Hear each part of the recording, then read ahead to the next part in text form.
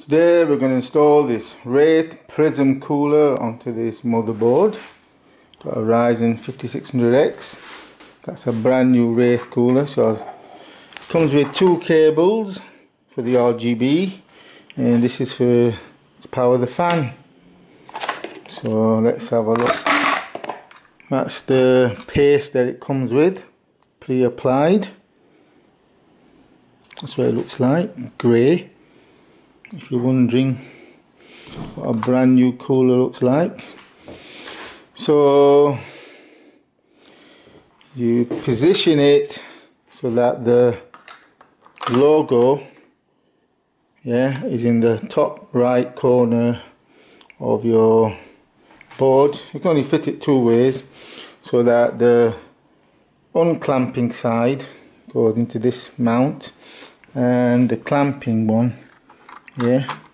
Goes onto the other side. So first I'll obviously do the unclamping side. So this is the cooler. First I'm going to position the unclamping side latch it on and then lower it on top of the CPU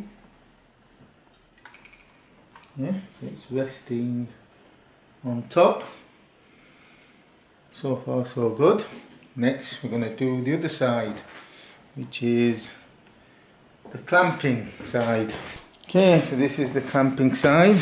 So we're going to it's loose. We're going to position this so it goes over. You might have to push down a little bit to get some yeah, get the latch over the hook. Just push down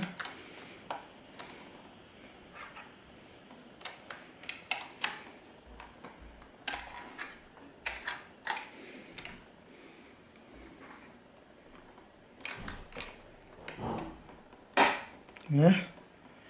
Now apply some force on top and push the lever all the way so it's fully tight and locks in place like so. And if everything's good you should be able to lift the motherboard off with your cooler attached.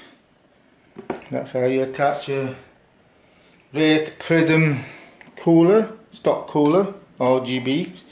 You can't make it any easier. Hook on this side, uh, hook with latch, and then just tighten the, the lever and you're locked. Yeah. Once you've done it, you want to make sure that it is on by lifting it up. Check it around, it shouldn't come off. That's it, and that's the CPU cooler attached to the CPU. So next is we attach the fan to the motherboard. You've got two there, CPU fan and CPU fan optional, so you can have two.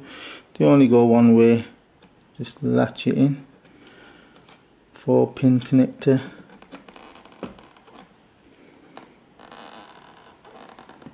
That's it.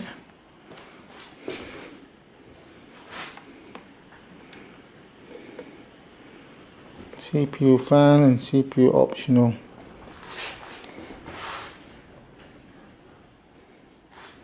And next will be for the RGB it's got two uh, cables uh, I don't think you need to attach both.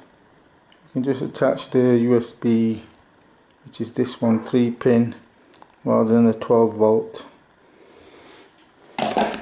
Yeah you don't have to touch both. It's the competing systems. This is going to use Asus software and this is going to use a Cooler Master. So use the RGB one. So how do you attach this you find the little notch. Where is it? Uh, there we go. Got two there. So you want to open one so I've next attach the RGB cable, 3 pin there to a free USB slot. Straightforward, well, it can only be fitted one way. It comes with a second cable for 12 volt but I don't think you need to install both. depending on what software you're using. If it's Asus then you use the 12 volt. If it's Cooler Master then you use the 3 pin. That'll power the RGB. There's one thing I forgot to mention about the cooler and that's a little switch here between high and low, that's fan speed. So click it that way you get high, set it that way you get low. Yeah, it's a small detail.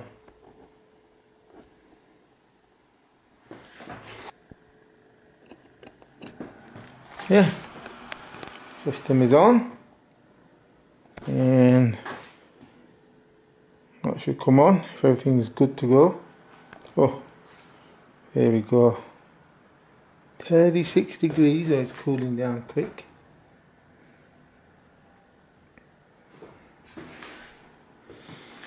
There you go, the fans are on. GPU and CPU, and the temperatures drop fairly quickly. 26 degrees idle, it's got no operating system, anything plugged in. Just the main components on this motherboard, memory, CPU and GPU.